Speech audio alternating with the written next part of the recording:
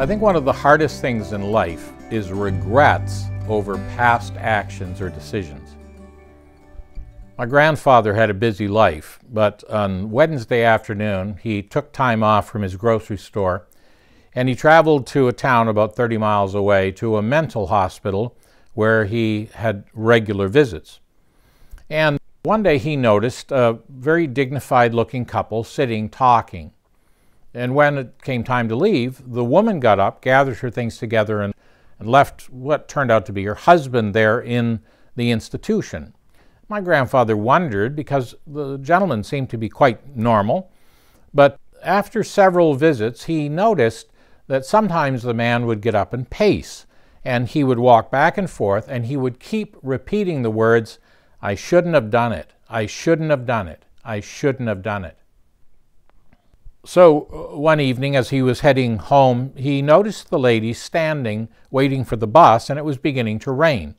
And so he pulled over and asked if he might take her home. She recognized him from their visits, and so she got in the car. And as they drove along, he asked her if she would mind telling him what was it that this man had done that he kept saying, I shouldn't have done.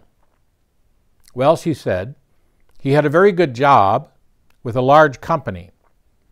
But just before the Great Depression hit, a school friend of his started a new business and asked him to leave his secure post and to work with him in this new venture.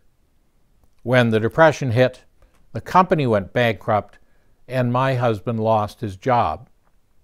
He would sit in the kitchen as I was making meals and working around, and he couldn't get another job, and he would put his head in his hands and he would say, I just, I shouldn't have done that. But then he began to pace, and he would walk through the kitchen and then into the living room and down the hallway, and he would repeat over and over again, I shouldn't have done it, I shouldn't have done it, I shouldn't have done it. And eventually, he had to be institutionalized. He wore a groove in his brain with this particular regret. The Apostle Paul, in writing to the Corinthian church in his second letter to them, he says to them, I'm sorry I had to write that very strongly worded letter to you.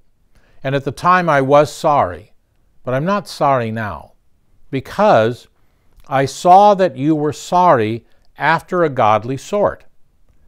He said, Godly sorrow works repentance to salvation. Now, not salvation from the penalty of sin, but salvation from the damage, the, the influence of sin.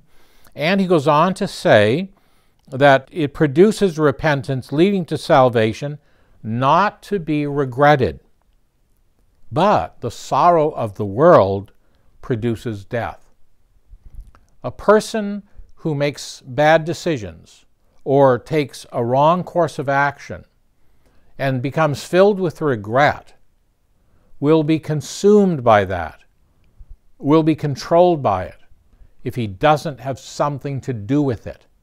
How thankful we are that there's a throne of grace, that we can go to the Lord with all our sorrows and all our regrets and all our troubles and cast them at His feet. And the Lord is able to do something wonderful with them.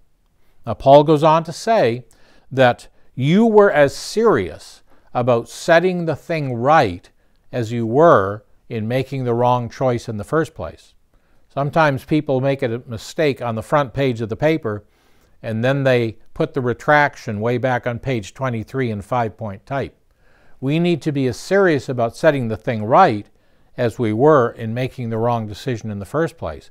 But if we do that, Paul says, if you're truly sorry in a godly way, you'll never be sorry you were sorry. And so it was with this poor man. He was so overwhelmed by this bad decision, he couldn't get past it. It's a terrible thing to walk through life backwards. Paul says, Forget the things that are behind and press towards the mark for the prize of the high calling of God in Christ Jesus. Aren't you glad that the God we know is able to restore to us the years that the locusts have eaten.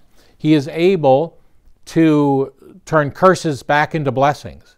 He's able to take the broken things of our lives and turn them into stained glass windows. And so the mistakes of our past can actually become the ministries of our future. This is what he said to Peter When you are restored, strengthen your brethren. And so the hard lessons Peter learned, instead of living a life of regret, became a pathway. The stumbling stones became stepping stones, and it became a path of usefulness for God because he was willing to be honest about the mistake and then apply the lessons he learned to helping others so they wouldn't have the same regrets.